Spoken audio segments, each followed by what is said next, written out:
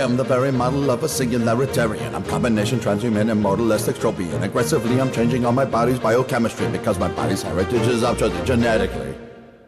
Replacing all the cells these planted here just temporarily. The pattern of my brain and body's weather's continuity. I'll try to improve these patterns with optimal biology. But how will I do that? I need to be smarter. Ah, yes. I'll expand my mental faculties by merging with technology. Expand his mental faculties by merging with technology. Expand his mental faculties by merging with technology. Expand his mental faculties by merging with technology. And with a new technology, renewable clean energy, remove our pathogens and overcome hunger and poverty. In short, I am a transhuman, a modalistic tropian. I am the very model of a singularitarian. And short, he is a transhuman and multiverse dystopian. He is the very model of a singularitarian. Knowledge in all forms, music, art, science, and technology. Our brains and bodies all precious and any loss a tragedy. Important recognitions and insights are what we should retain while we destroy all of the useless information that remains.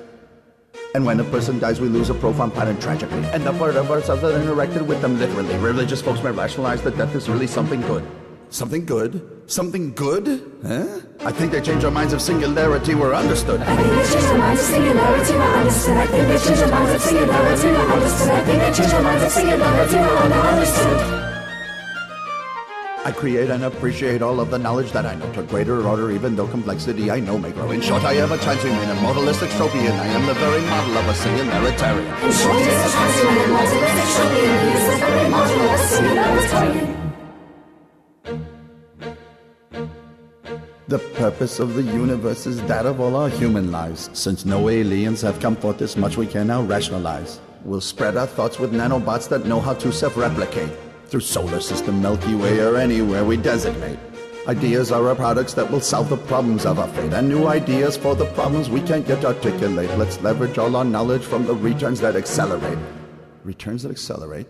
Sounds familiar. Ah, yes, the law of accelerating returns by Ray Kurzweil. Of course, of course. So the outcome of the universe is something we can contemplate. The outcome of the universe is something we can contemplate. The outcome of the universe is something we can contemplate. The outcome of the universe is something we can contemplate.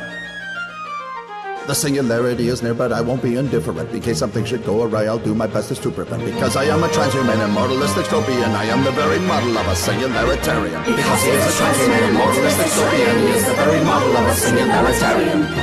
Yes! Singularity! Woo-hoo! Singularity is here! Singularity is near! Singularity! What on earth? Nice. Hey, I'm just gonna go from here. Just hey, welcome to Hive45, a discussion about the future impact of this week's tech and world news leading towards the singularity. I'm Nathan Waters. I'm Geoff Pidcock. I'm Tristan Grace. We've got a special episode of Hive45 this week. Uh, we're just back from the uh, summit, the Australian Singularity Summit, which was what two weeks back now.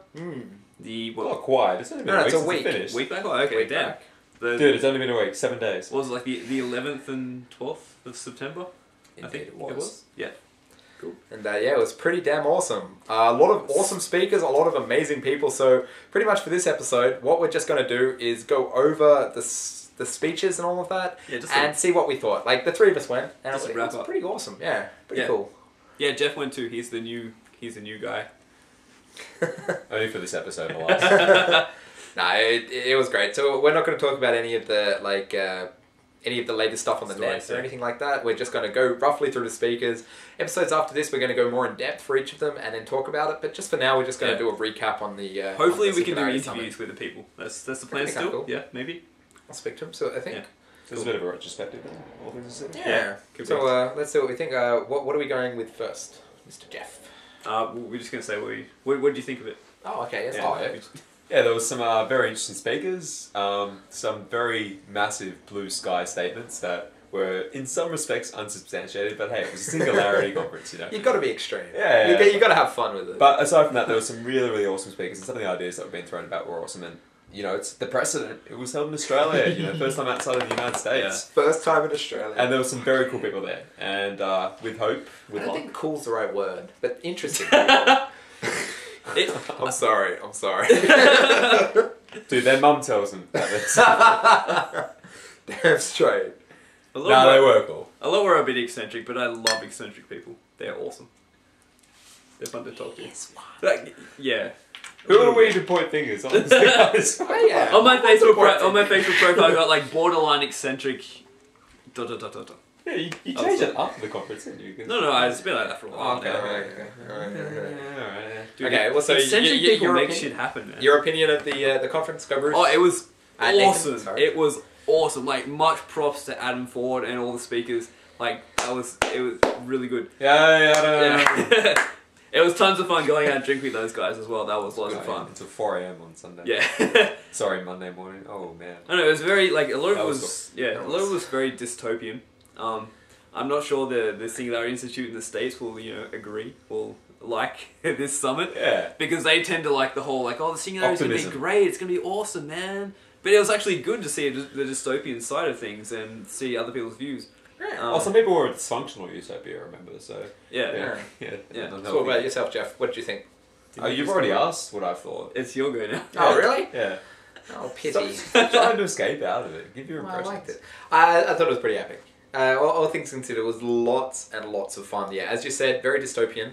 Uh, not as much of the singularity focus as much as I would have thought. Actually, climate Yeah. change came up a Yeah, climate change did. Yeah. Uh, a lot of people saying about all of the massive failures our civilization uh, could actually face. So that was an interesting thing.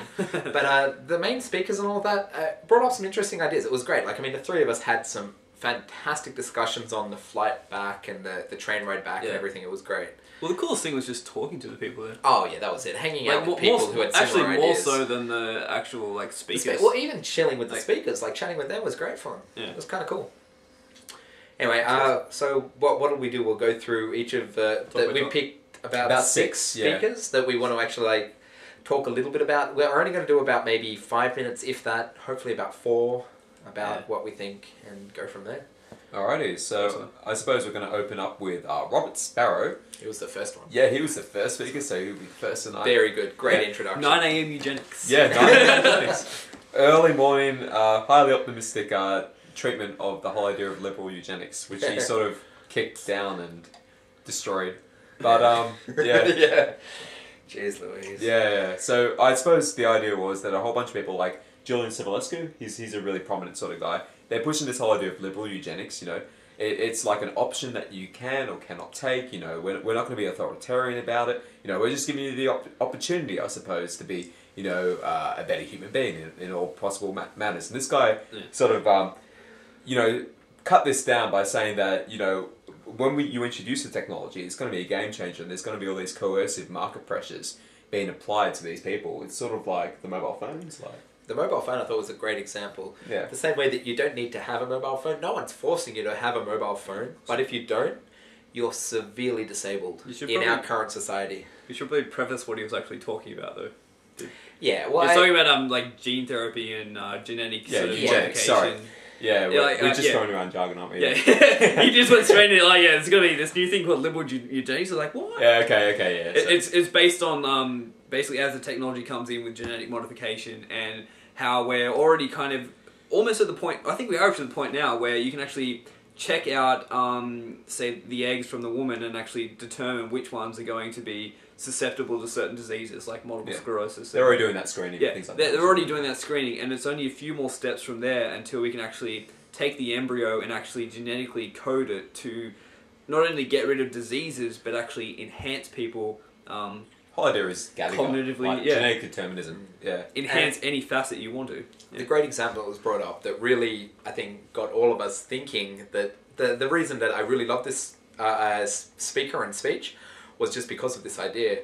Um, if you know your child is going to have, it's not going to be the smartest it could be, like if this egg, this embryo is not going to be the smartest it could be, and you could try again and find something there, are you a bad parent for not doing that? Are you a bad person because you are not giving your child the best possible chances? And I mean, that, that's going to happen, isn't it? And I mean, imagine you're a parent, and I mean, I'm sure a lot of people here of you are. I mean, you want the best for your kid, no matter what, no matter what. So aren't you going to keep on trying again and again and again to find the best? That you want to just get rid of all of that there? Problem And, is how do you define the best. Like yes, yeah. well, that's what he brought up. Yeah, so the whole idea is like, you know, how, how who are we to define what is best and what is not? Like, um, it go, it goes back to like all that old research that people are throwing around. You know, genes for criminality, genes for homosexuality. You know, these things don't really have any scientific basis.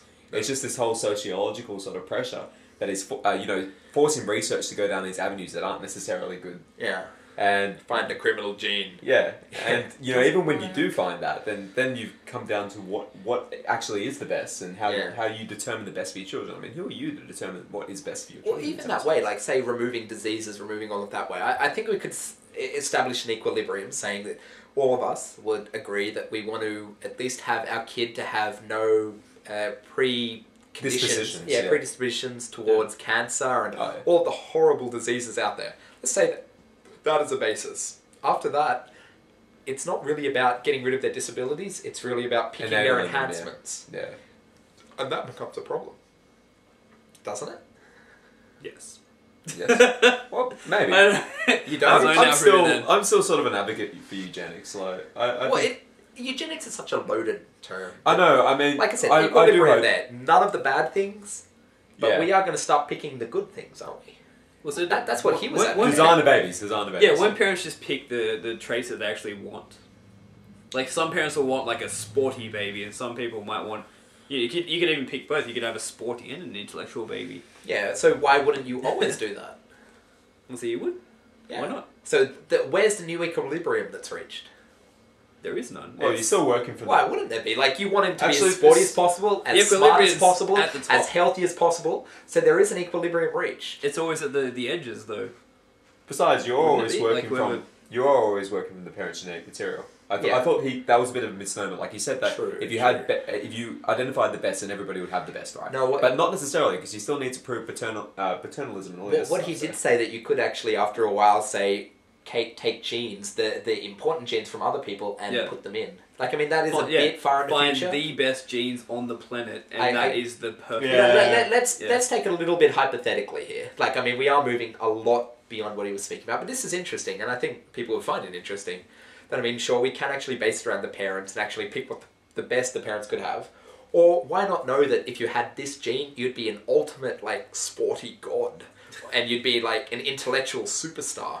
Like, why wouldn't you ever have that in your kid? You want the best for your kid. So where does the equilibrium reach? It's the whole nature versus nurture thing, though. Like in some respects, Is it? like it's not it's not all purely genetics. It's also due No, uh, no, to of environment course. as well. But I mean, genetics wise, you could actually reach the best. Yeah, because it's. It's, But then we don't a, know what it's a best is. certain science once we actually work it out. I, I just want to know what the best is. I want to know what that equilibrium is. I want to know what is working. it's towards. environmentally contingent, though. Like Yeah, yeah, Yeah, like, you know, but I think that the different cool- cultures will have different bests. yeah. The coolest thing about this talk is um like genetic modification has always been on the agenda for a long time, but uh, just the idea of actually linking it to eugenics, basically doing that, that thought experiment of okay, if we go down this path, it's going to end up um, where the governments are going to actually have to come in at some point and say, not not so much tell you you have to do this, but put in education campaigns to and incentives. and incentives it, to yeah. get people because if you have because we're talking like orders of magnitude if we can actually work out you know you can give your baby even twice the intelligence like twice the intelligence which is nothing in what we could possibly do of a person who doesn't get genetically modified then that's like an order of magnitude difference in like intelligence yeah, level you in wouldn't society ever not do it. Yeah, the government would really want that as well because, Yeah. like, Yeah. just think everybody that's not performing to their peak output is a Yeah. is a drain in the tax system. So And Yeah. personally, I, I think that's just pure evil if you don't upgrade your baby, and because because they're going to be half as intelligent as That's what they could have been. as what they could have. So and the that's, moral imperative is to upgrade, and that's, and that's nothing. Like we're talking, it'll be like trillions of times, Yeah. especially once you start augmenting with technology and like and you have that option. yeah, but this like, is independent. Let's let's not Yeah. mix up eugenics Yeah, yeah, and yeah, augmentation. But I, I fully understand they Yeah. work together. But, But yeah, never link that whole that whole thing of like this is actually a new eugenics in a sense.